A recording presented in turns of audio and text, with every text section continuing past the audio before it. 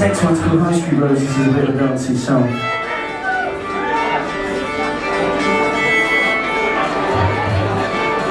I wrote you about a girl from Union Street down in Plymouth, if anyone knows that place.